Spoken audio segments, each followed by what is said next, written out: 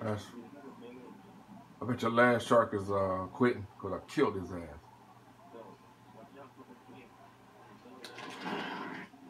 I told you he's going to quit.